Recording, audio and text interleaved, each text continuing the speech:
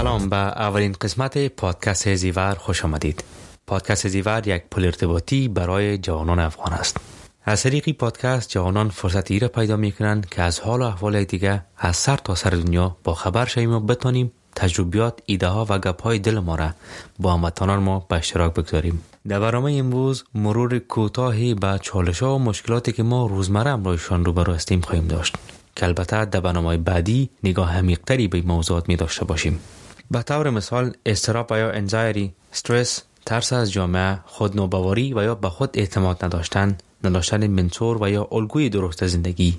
اینها همه مشکلات یا واقعیت های زندگی هستند که ما اکثرا از دیگران پات و پنهان می کنیم و حتی شاید تا به امروز در مورد این مشکلات با کسی صحبت نکرده باشیم. که البته در زمانی که ما زندگی می کنیم سوشیل میدیا رابطه مستقیمی با این مشکلات داره. عموما کاربران صفحات اجتماعی کوشش به نمایش گذاشتن مقبول ترین تفسیر از خود در بهترین تصویر دارند. که البته در مقطع زمانی حال فشار بسیار زیادی بالای ما مردم افغانستان است.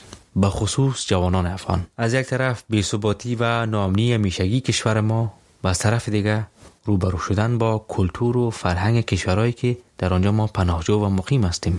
پیش ازی که به دیگه موضوعات مهم غور کنیم من می‌خوایم از شما چند سوال پرسان کنم.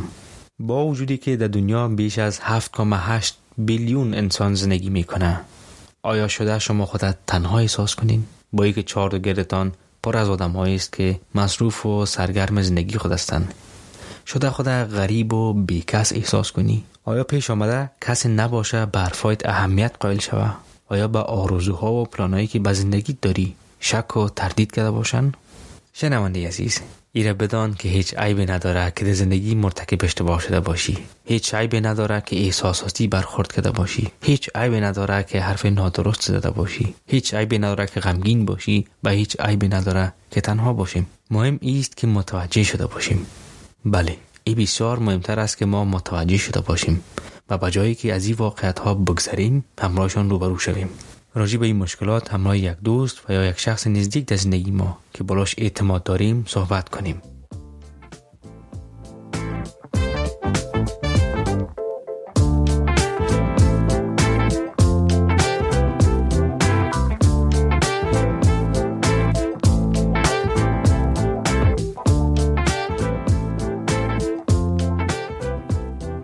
بله به همون اندازه که مهم است مشکلات خود بدانیم از مهمتر است که راه بیرو برآمدن از این مشکلات بررسی کنیم. ای که چطور مینیس یک جوان در جامعه سر پای خود ساچهیم چطور یک موتیویشن و یا انگیزه ایجاد کنیم چطور بدن و سطح خود دوست داشته باشیم و یا چطور به خود ما احترام قائل شویم چطور تصمیم درست بگیریم و تفکیک کرده بتانیم یکی از چیزهای بسیار بسیار مهمی که ما انسان ها از یاد ما میره و یا یاد نگرفتیم است که خود ما را دوست داشته باشیم. در درون ما با قلب و مغز و بدن ما در صلح باشیم. صلح درونی و یا inner peace در وجود خود کشف کرده باشیم. البته متوجه باشید که خود دوست داشتن و خودخواهی زمین و زمان فرق می‌کنه. داشتن یک ریتم منظم در زندگی درست غذا خوردن درست خوابیدن داشتن سر روی مرتب و ورزش کردن اینها همه پرنسیپ های هستند که به خود دوست داشتن دلالت می‌کنند.